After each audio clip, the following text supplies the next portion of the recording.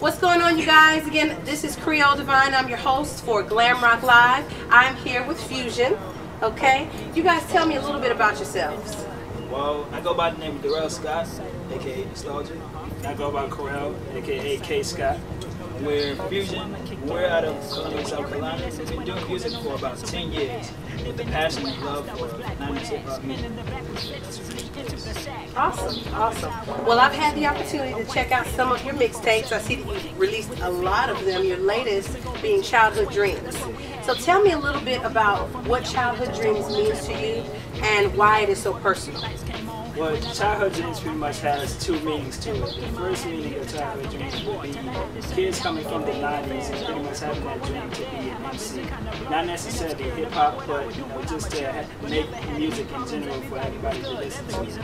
And the second part of childhood dreams is pretty much growing up, being mature, but taking it back to that 90s era and spitting, you know, hip hop and making sure that people can actually grasp to it, relate to it. And the reason why it's so personal is because it took about six months to make. And uh, if we put our whole, you know, soul and sweat into it, and we try to make sure everything was perfect, not rushing it, and that's what challenge is. We hope that people could relate to it, and so far, so far people it. So. Awesome, awesome. Well, I'm definitely a huge fan. I understand you cannot rush talent, you can't rush art. So, what I'd like to know is, right now, do you all follow any current hip hop artists? And is there anyone in the current industry that inspires you, or are you're mostly inspired by the original era of, of hip hop, the 90s era of hip hop? I would say, as far as like the modern hip hop artists, we would say Ab-Soul or basically anybody from the TDE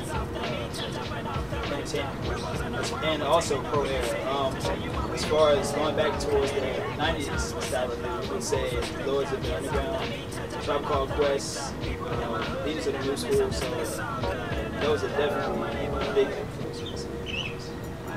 Real hip hop. Okay, okay, cool. So obviously you guys are twins, and you are you have your own individual style. How would you describe Fushun's fashion style?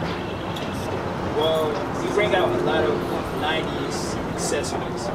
Um, as far as the clothing wise, it's, it's today's modern style. So basically, if you were to look at us, you can tell that the new hip hop and 90s music, you won't get that, that vibe that we're all about money, drugs, and uh, that. So basically going back you know, to, to what hip hop style was.